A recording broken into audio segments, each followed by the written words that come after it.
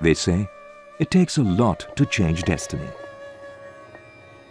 Some people take up the challenge and do it.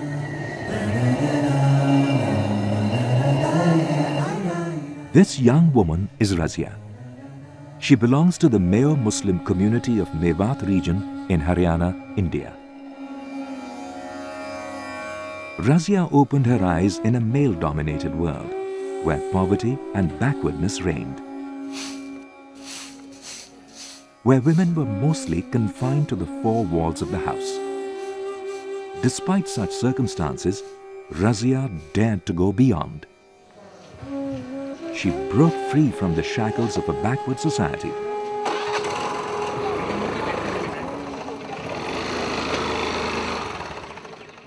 and joined the Institute of Rural Research and Development, IRRAD. Eventually, things changed for the good.